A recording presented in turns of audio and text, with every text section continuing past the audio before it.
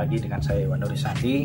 Uh, untuk kali ini saya uh, akan mencoba memotret makanan dan bahan-bahannya sudah saya siapkan di belakang dengan lampu yang bisa kita dapatkan secara murah meriah pakai lampu LED.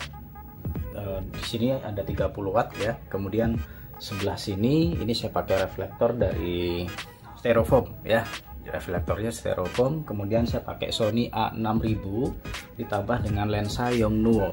Yongnuo 50 uh, mm tapi khusus untuk Canon teman-teman. Oke teman-teman ini adalah body Sony mirrorless A6000 yang saya punya.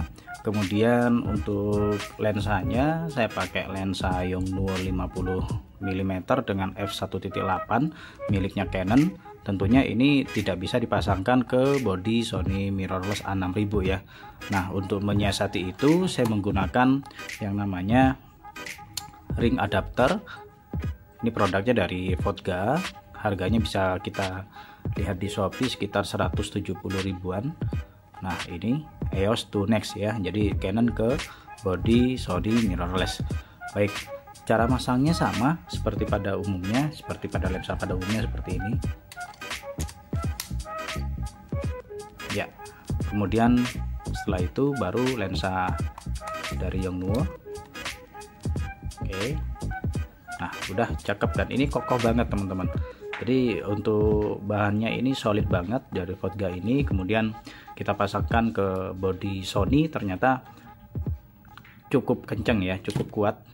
Jadi ini bisa kita andalkan dan hasilnya bisa teman-teman lihat seperti berikut ini Nah baik, kita akan mereview bagaimana A6000 dipakai uh, untuk motret makanan dengan lensa Yongnuo 50 mm dan f-nya 1.8. Untuk memotret itu, kita perlu mengatur beberapa settingan kamera. Di sini saya tunjukkan untuk semuanya serba manual teman-teman ya semuanya serba manual ini perlu kita perhatikan kita masuk ke pengaturan kamera kemudian kita pilih rilis tanpa lensa. Ini harus aktif teman-teman. Karena kalau misalkan ini dinonaktifkan ini lensanya nggak nggak mau kameranya nggak mau gitu ya. Jadi kita harus memilih rilis tanpa lensa kita harus memilih aktif di sini. Seperti itu. Nah untuk settingannya sendiri ini kita manual bukaannya juga sudah fix dari situ. Kemudian kalau misalkan kita ingin mengatur bukaannya uh, lagi kita bisa uh, pilih manual masukkan ke kamera Canon dulu kita setting uh, f-nya berapa di angka berapa baru kita masukkan ke body Sony A6000. Nah untuk Sony ini uh, yang dipakaikan lensa uh, lensa yang 50 mm ini kita hanya bisa mengatur shutter speed. Kemudian fokus itu aja. Ini yang bisa kita atur. Kita coba jepret ya.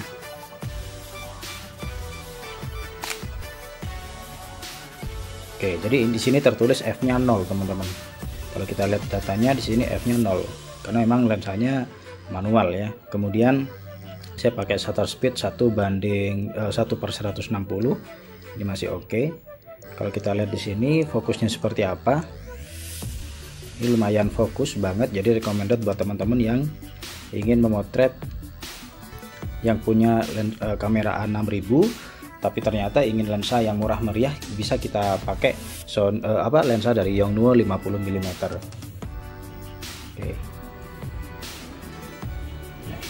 karena di rumah saya juga punya ini. Ada lagi yang lensa 35 mm saya juga pakai manual. Kalau ini tanpa adapter ya karena memang khusus untuk Sony. Oke.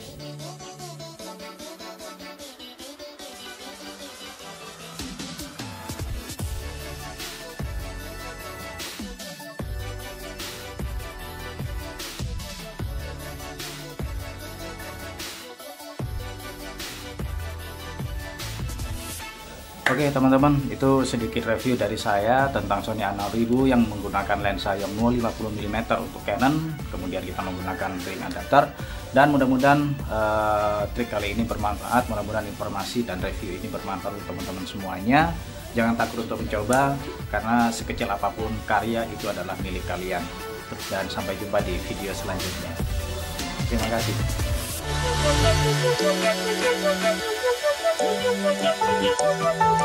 Thank you.